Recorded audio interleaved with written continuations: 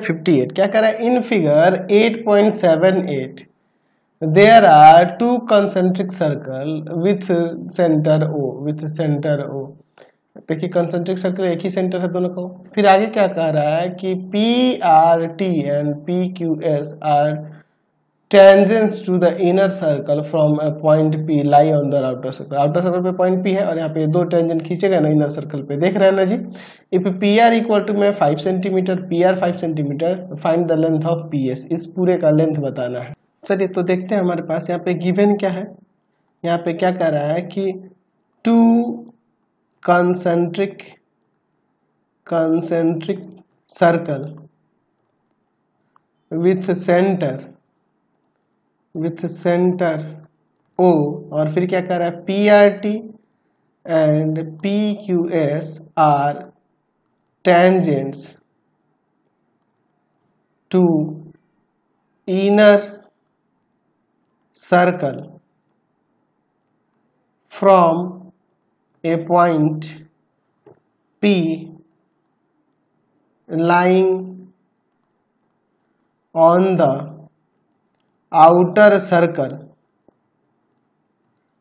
And क्या कह रहा है कि पी आर इक्वल टू में five centimetre to find to find length of P S इस पी एस का लेंथ निकालना देखिए, यहाँ पर देखिए इसका प्रूफ हम लोग लिखते हैं।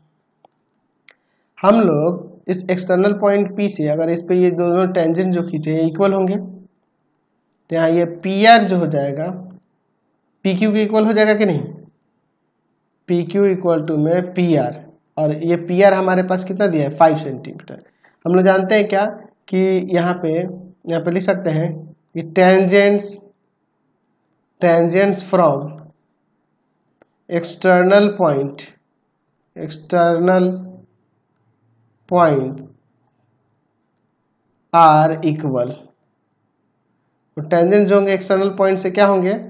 वो इक्वल होते हैं। यानी कि ये फाइव सेंटीमीटर हो गया। ये भी फाइव सेंटीमीटर अच्छा हम लोग ये जानते हैं, यहाँ पर ये भी जानते हैं कि जो टेंजेंट हो टेंजेंट्स टेंजेंट्स जो होते हैं पॉइंट ऑफ़ कांटेक्ट पे रेडियस पे यहाँ पर पेंडिकुलर होते हैं। है ना जी?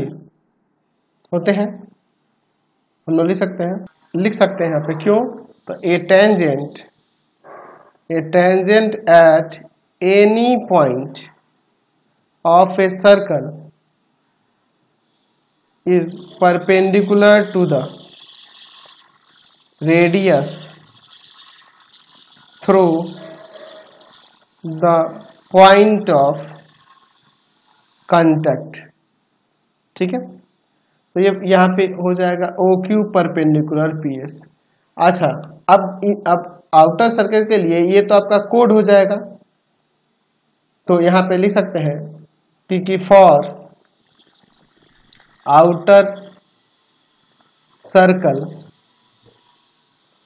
P S is a code and ये ओ आप देख रहे हैं कि हमारा ये ओ क्यू परपेंडिकुलर है पी एस पे, और पी एस कोड है यहाँ पर। तो जब ये पी एस कोड है तो हम लोग जानते हैं कि परपेंडिकुलर जो होता है, इसको बाइसेक्ट करता है। तो यहाँ पे लिख सकते हैं there four O Q bisect P S है ना? क्योंकि हम लोग जानते हैं कि perpendicular bisect the code code को बाइसेक्ट कर देता है। चलिए यानी कि हम लोग लिख सकते हैं कि ये अगर पी क्यू जो होगा पी क्यू का डबल ये पी एस हो जाएगा। यानी कि P S is two times of P Q यानी कि हो जाएगा पी एस इक्वल टू में टू इंटू में फाइव सेंटीमीटर यानी कि ये टेन सेंटीमीटर आ जाएगा। समझ गए? तो यही हमें निकालना था। तो आज की क्लास में इतना ही रहने